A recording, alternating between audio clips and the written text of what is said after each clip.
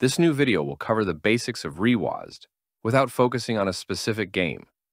I must advise that ReWASD main usage has never been to get aim assist on your mouse. It is a remapper. This means that it will take an input method, like mouse, and output another one, like a gamepad.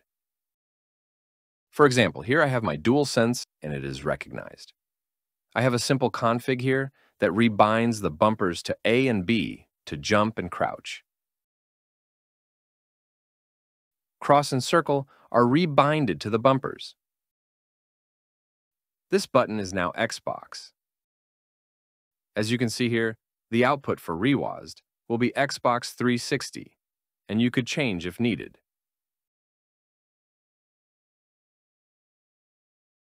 Here we can see the DualSense getting hidden, and a new Xbox 361 shows up.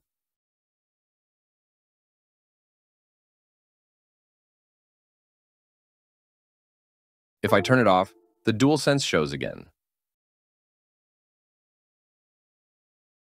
The main license will allow you basic remapping, but only buttons.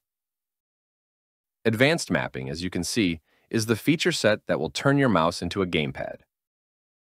It also has other options for physical gamepad. Combo will allow us to create all sorts of macro sequences, multiple presses with keyboard, gamepad, and mouse output. This is what is used for recoil control macros. Rapid Fire will allow us to set up a bind that will send repeated presses with a delay you can set in milliseconds. It also will allows us to toggle shift layers, which I will discuss shortly. Slots will allows us to set shortcuts to switch between up to four configs. Could be helpful, but it's not needed. Back to the first screen, we will first deal with devices. Here, I have my mouse. Below here, I have all devices. The ones not initialized will have a question mark. I can click the satellite icon to enter detection mode. Pressing mouse clicks or keyboard keys will light up the icon of the device you are pressing. The first time you run it, you will need to set up the devices so they have the correct icon. Here is my mouse with correct name. You can reinitialize and choose the correct type.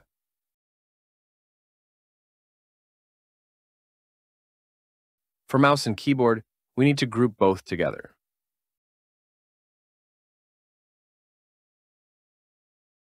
We also need to make sure it is the correct one, as sometimes we have virtual devices. Here, you can see each device has a proper icon.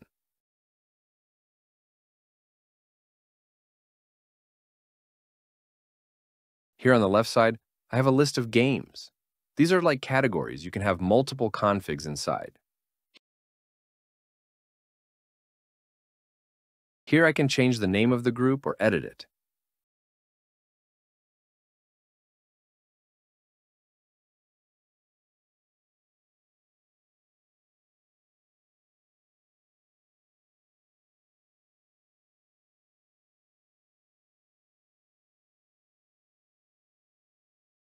Now here I also have a tab for the keyboard.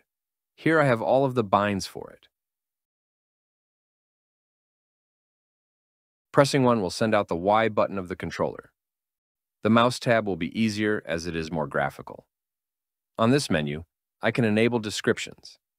If the config has them, you would see a description on each bind.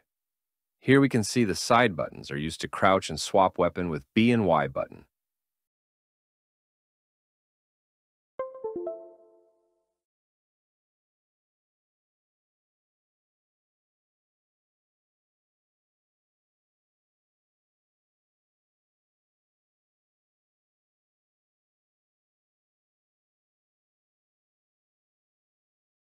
If I swap the bind to the 3 key and reapply the config, then my mouse side button writes 3.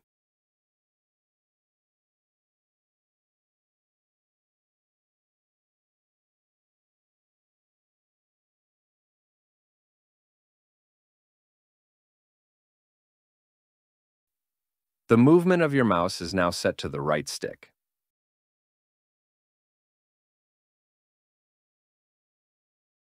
This stick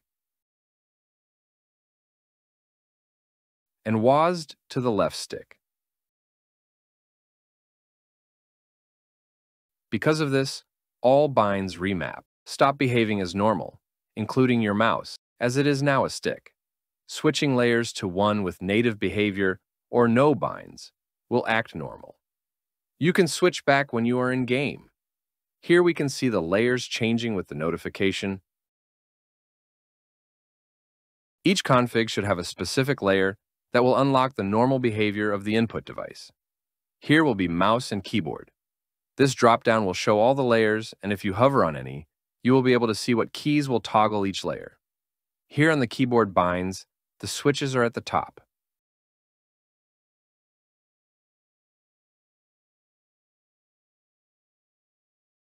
Both will switch from the main layer. However, escape is not muted. This will keep its native behavior and open the menu as well. Home will toggle in and out, and as it is muted, it won't do anything as it is only a switch. The number one is also muted, but it is only a bind of the Y button. Tab here is also muted, and it will send the View button. On the right click, I have a switch to a different layer. This is called Shift Mode. Inside, we can see the layer it jumps to, how that jump behaves, and the button mapping it will use. This will press the left trigger, which is usually used to aim down sights, and will switch to the recoil layer when held. This is usually used to have different sends when aiming, or a recoil combo when firing only from this layer.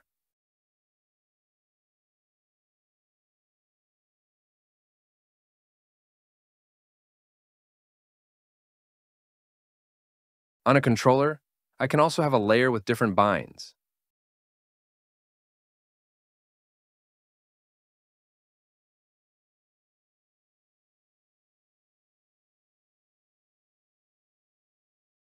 I can also have a switch on the left trigger, but it's behind the bumper. Shift mode will enable the switch of layers.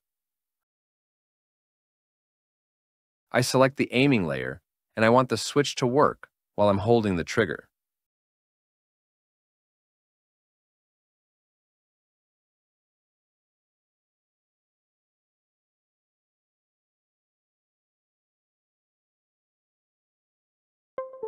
While the config is on, layers are switching.